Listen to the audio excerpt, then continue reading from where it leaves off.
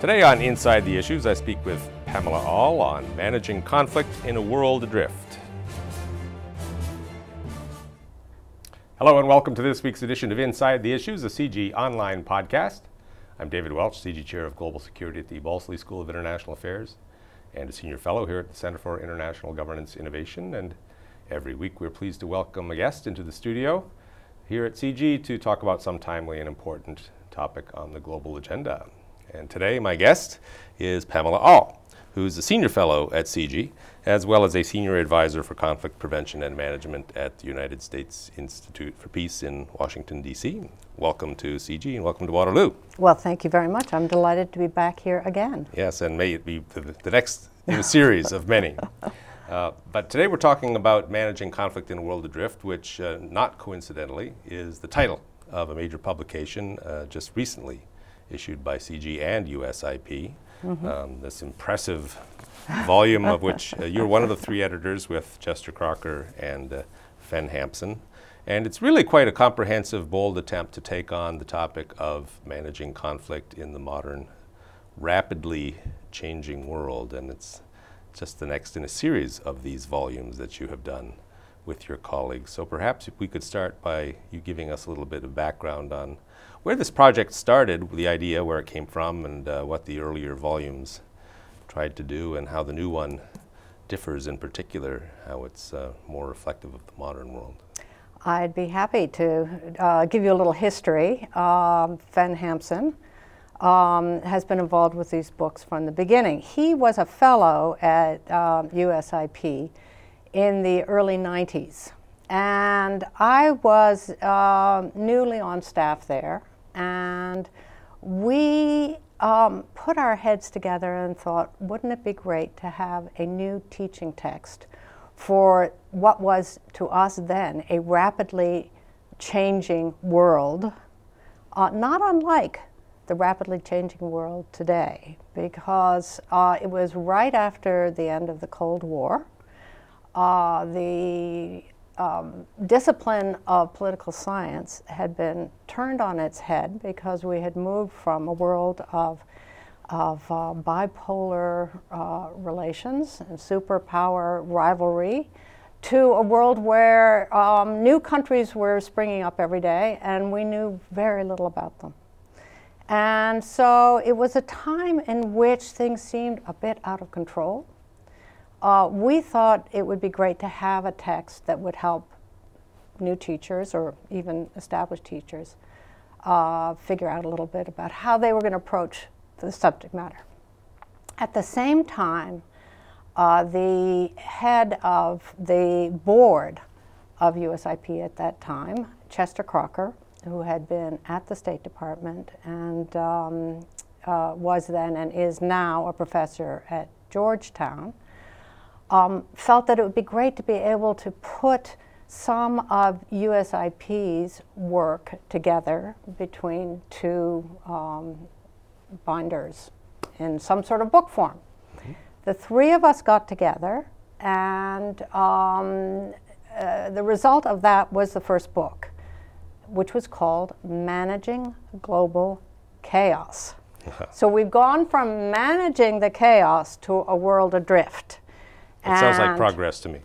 It may be progress, but it has been an interesting and, and a rocky ride. Um, so the first book really focused on what is the nature of this new world and um, what can one do at all to manage it. Management is one of those words that um, gets, it's like a burr under the saddle. It gets people mad, particularly mm-hmm. when it comes to conflict, because uh, really people sort of read into it, oh, all you're going to do is stop the fighting, keep the parties suppressed in some ways, and just keep doing whatever it was you wanted to do anyway. Management is something that's often seen as um, the preferred policy of the, um, of the powerful nations of the world.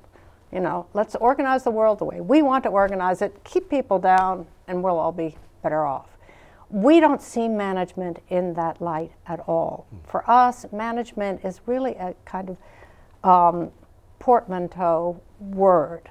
one that would um, have in it prevention, management uh, in the in the smaller sense, stopping the fighting, um, you know, starting a political process, resolution, meaning how do you get to settlement, um, and increasingly uh, over the the period that this series came out, we started to focus on post-conflict, what was originally called post-conflict reconstruction, and is now uh, looked at as transformation um, and heading towards reconciliation. So we um, took this word management and tried to broaden its sense, and we still feel that when we're, we're talking about conflict management. Um, so we were managing global chaos. Um, concepts of mediation, negotiation, track two diplomacy, meaning diplomacy or, or, or um, conflict mitigation that's done by um, NGOs, uh, were quite new. Mm-hmm. It's a young field. Conflict resolution is a young field. And in the early 90s, those people who were in school studying it understood it, but it wasn't part of the general parlance. Um, so that was the function of the first book. Let's map it, this field out and let people understand what the um, options were mm-hmm. for managing conflict. So several years went by, and we started to see um, a, just a great amount of um, attempts, and often quite successful attempts, on the part of the UN and others to bring conflicts to a close. So uh, we saw the end of the war in Bosnia, Cambodia, um, all sorts of places.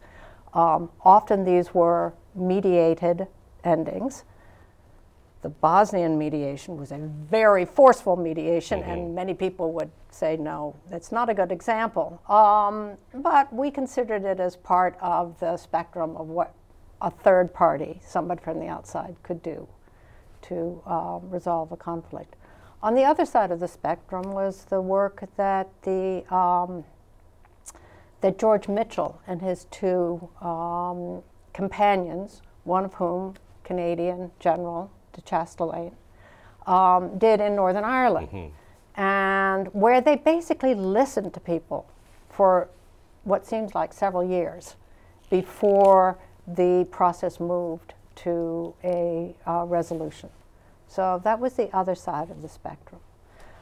And uh, really, by the end of the 90s, we started to feel we really do understand this new field of peace keeping, peacemaking, and peace building.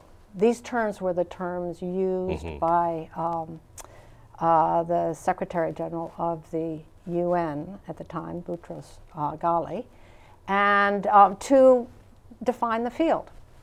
We felt we understood them. Things seemed to be working. The UN was, you know, a, a very respected institution. Everybody wanted it involved in their conflict um, conflicts were, were, were ending. Um, we thought we understood peacekeeping and maybe even understood peace enforcement when you start using a little bit more force. Mm-hmm. So we started another book to capture what we had learned in the 1990s. The title of that book um, is Turbulent Peace. So we went from managing conflict, uh, chaos to a turbulent peace. We also sounds like progress. It, we really thought it was progress, right. and it was progress. I mean, the 1990s was a kind of remarkable period for right. understanding the dynamics of, of uh, conflict resolution. The book was published in September 2001. Mm. Good time. And um, uh, practically immediately, we had the um, the uh, events of, of September 11th, 2001, 9 11. Um, and it threw the whole field into another period of uh, searching for answers. Mm. Um, and of course, in the next, not decade, but more than a decade, um, the United States has been at war.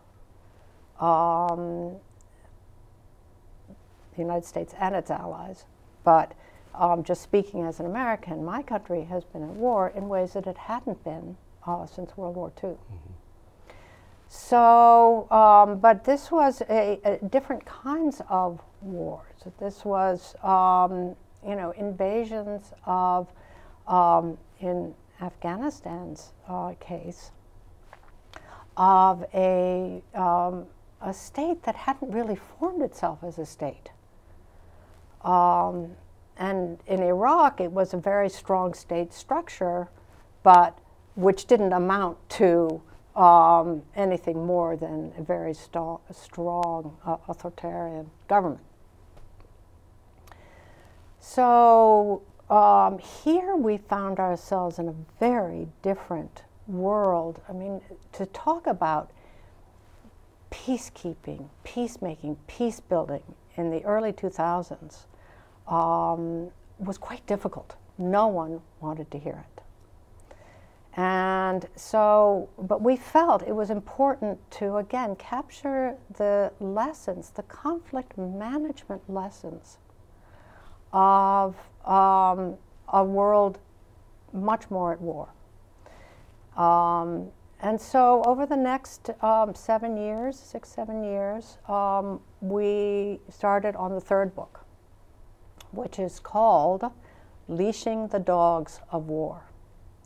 So, here again, a third in the series, still talking about mediation, negotiation, track two diplomacy, what you can do to build civil society, but in a different context, in this context of, of a very unsettled world and a, uh, what unfortunately seem to be a growing division uh, among parts of the world.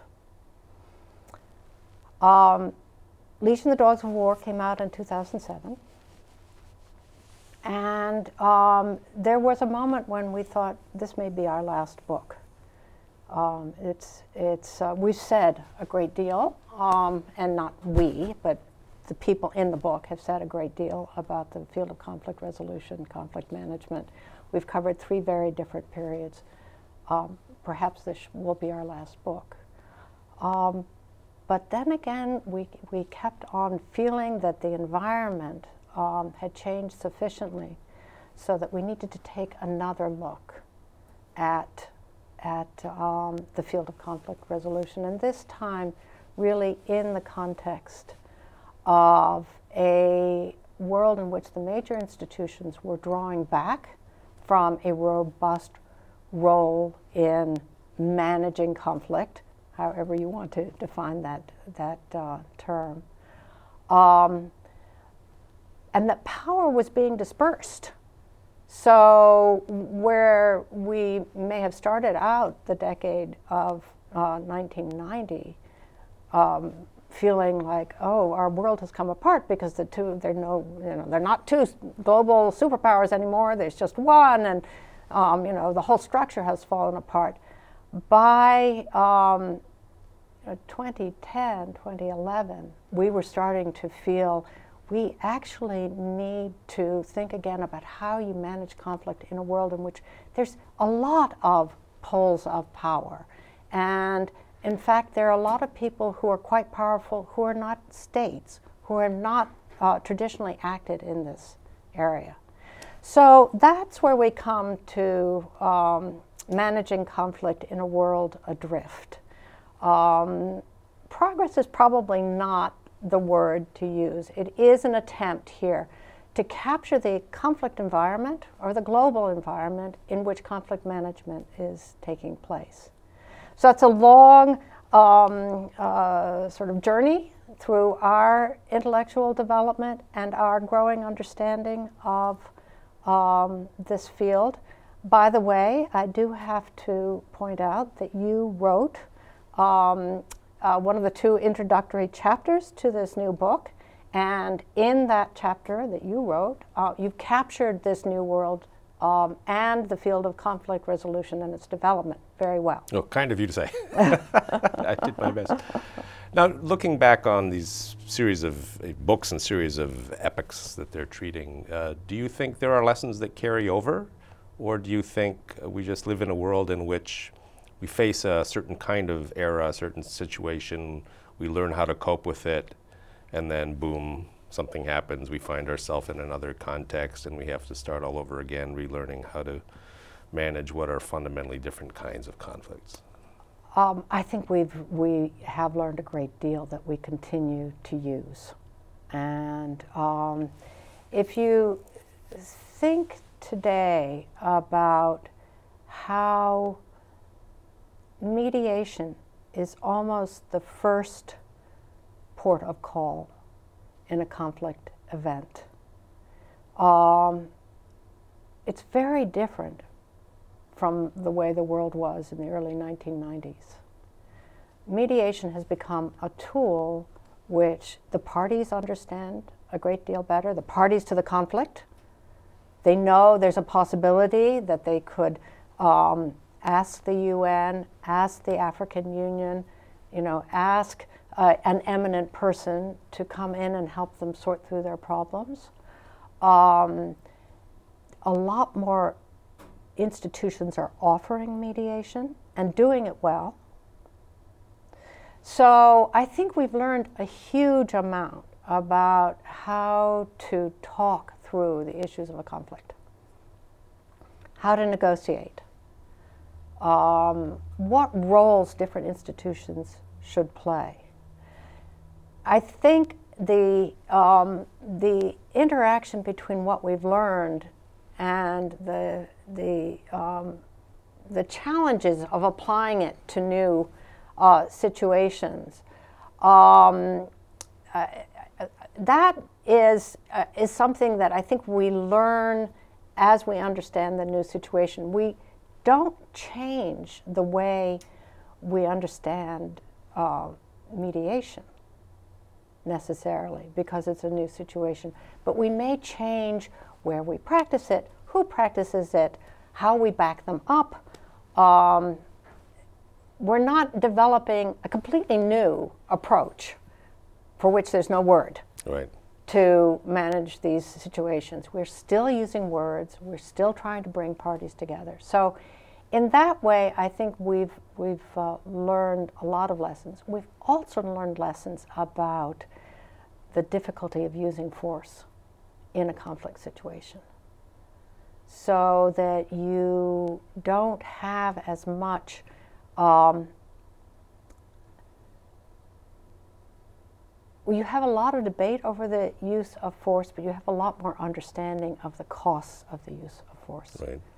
Um, certainly in the United States um, in the 1990s, I think um, uh, we were uncertain about the role that force uh, uh, played in peace building, but we got used to it.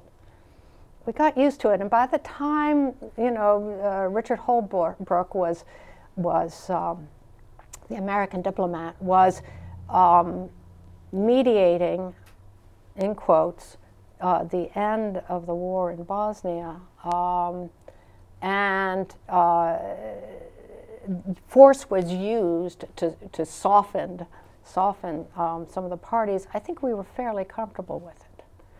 Um, I think in the decade of the 2000s, I've never known quite what to call mm. that first decade.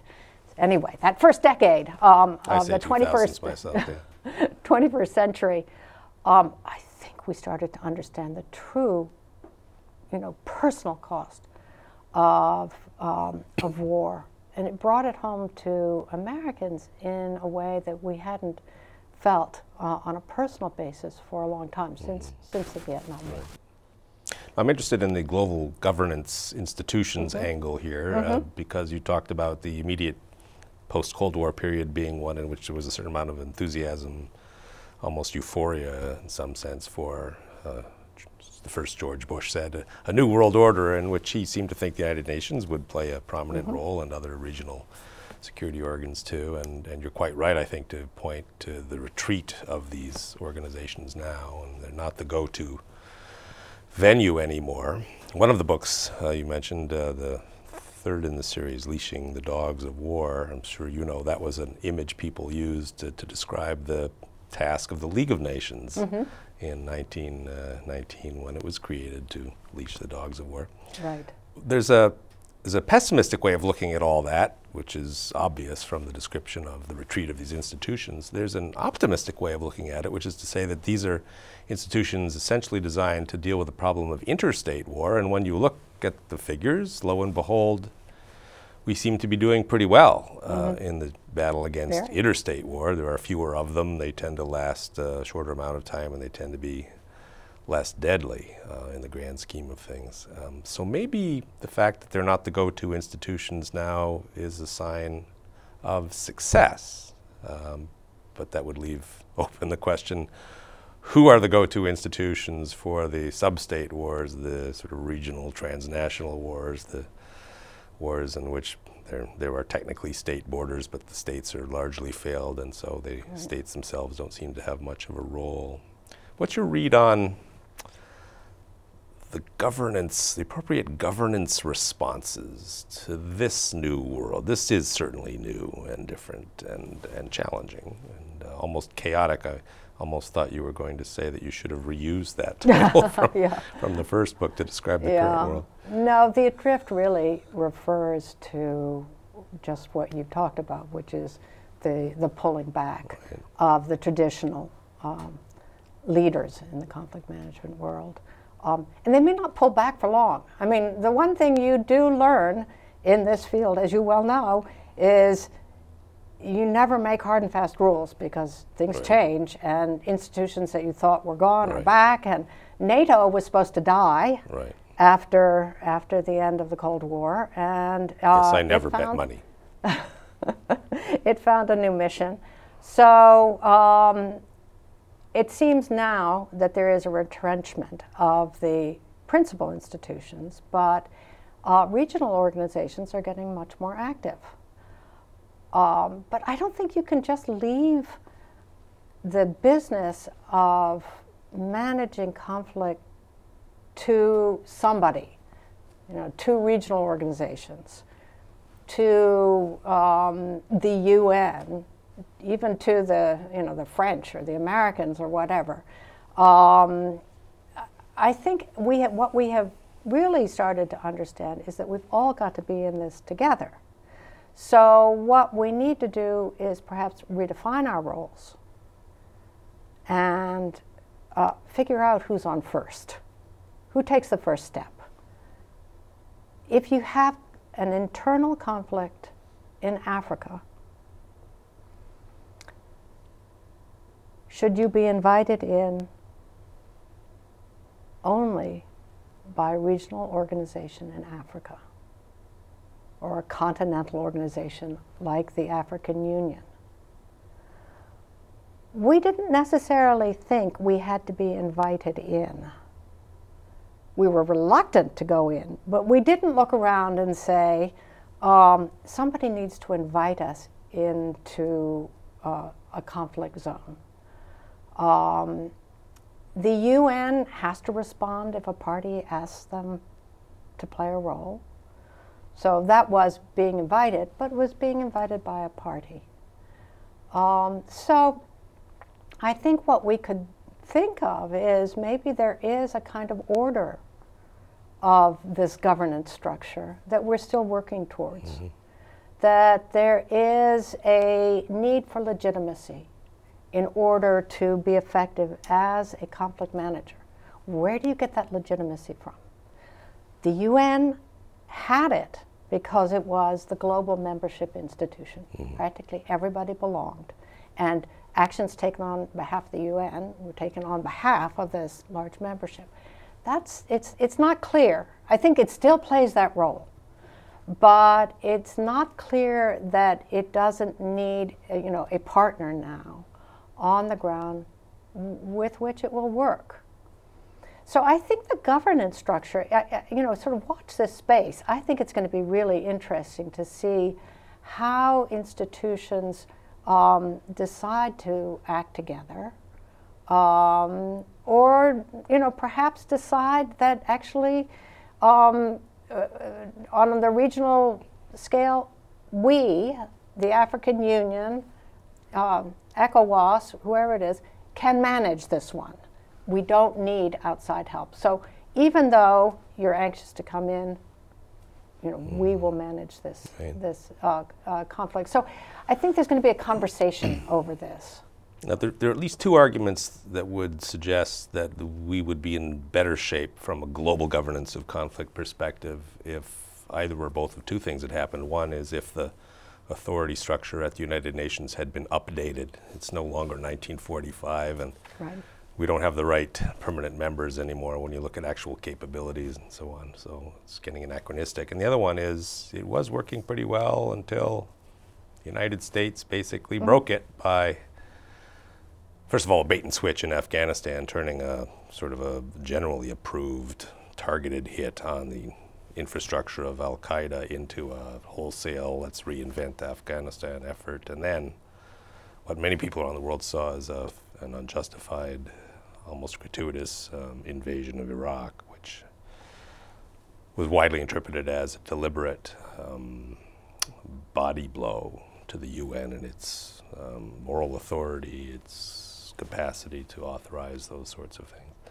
So I'm wondering, it's hard to do the thought experiment, but you know, if, if those two things, either or both of those two things uh, had been happen. different, um, do you think we would yeah. be like well ahead of this now, that we would have global conflict in, in good order? Or do you think it's likely that um, we just would be dealing with a different set of problems? Well, Afghanistan and Iraq were two very different conflicts, and so I, I don't, I don't um, uh, agree uh, fully with the, particularly the characterization of Afghanistan. The problem with Afghanistan is that we got into Iraq. Um, I think if we had stayed focused, and I mean, this is not a new thought, we had stayed focused and um, with the UN, and the UN has played a very, very uh, strong role in Afghanistan. If we'd stayed focused with the UN, you know, yes, perhaps that would have ended differently. But we didn't. We had Iraq, and I agree, it's almost as though we were um, shutting the, uh, the world body out. Uh, and of course, um, you know, it had its terrible disaster there. Um, would it, would we be in a much more peaceful world. Probably if we were, it would not have been because of global governance.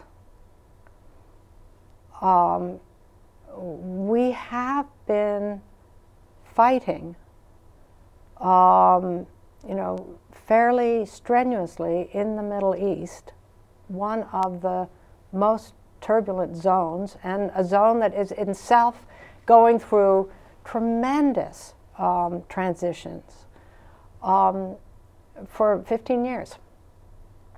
I think that's uh, you know where the the the strains are coming from, um, and it's not clear to me they they they weren't there anyway.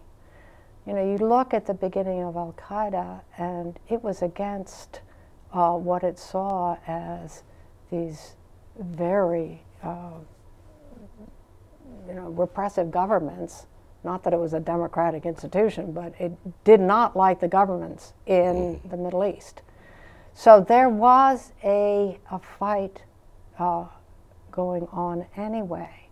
Um, Saudi Arabia is one of the U.S.'s strongest allies.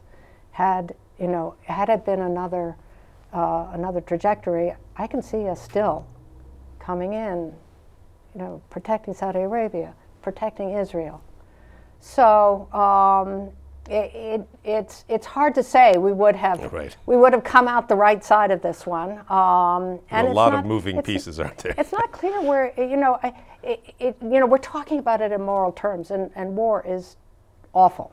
Right. Um, but we're obviously in a huge global transition, and it's hard to see where we're going from where we are, you know, standing up close right. to it. But it may be a transition that needs to happen, and it may be a transition that empowers people on the ground everywhere. Uh, it may just be a much more, um, as we say in the book, distributed um, uh, sort of system of governance where everybody can feel a little bit more empowered than they are today. But that's a huge challenge to the powers that be, um, and there is going to be conflict over that kind of transformation. Well, that's a great overview of the project and the history of the series of the projects, and thank you so much for coming in and doing that for us. And I, I should say to the audience that uh, the book itself very rich, very detailed, uh, very careful treatments of specific issues and specific areas, and uh, really quite a masterful accomplishment. So congratulations on it, and I would encourage anyone who's interested in understanding conflict uh, management better to pick up a copy. Uh, so thank you for coming in, Pamela. Thank, thank you, you to our audience for joining us. Please join us again next week for another episode of Inside the Issues, the CIGI Online podcast. Look for us at cigionline.org, on Facebook, on Twitter, and on YouTube.